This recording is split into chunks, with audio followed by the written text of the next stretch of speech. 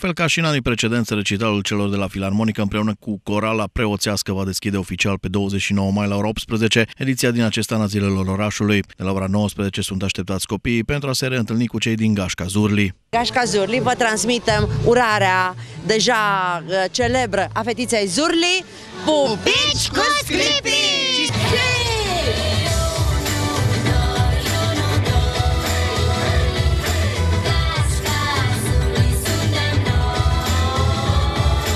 Seara de vineri va continua cu două concerte care se anunță incendiare, formațiile fiind invitate la cererea sătmărenilor. Forma la ora 22 în concert cu Vama și într-un final BG Mafia la cererea la solicitarea, solicitarea foarte multor tineri. tineri.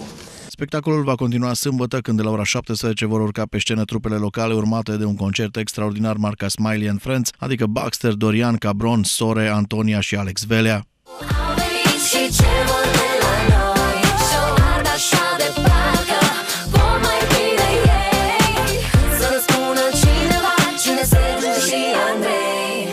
Pentru finalul zilei de sâmbătă, autoritățile au mai pregătit o surpriză. Se va încheia seara cu holograf și focul de artificii sâmbătă. Duminica va începe cu un spectacol și competiții dedicate celor mici în așteptarea zilei de 1 iunie, pentru ca de la ora 19 să se aleagă Miss Ziua Orașului. La ora 21 va urca pe scenă Delia, urmată de Proconsul, iar ediția din acest an va fi închisă de voltaj.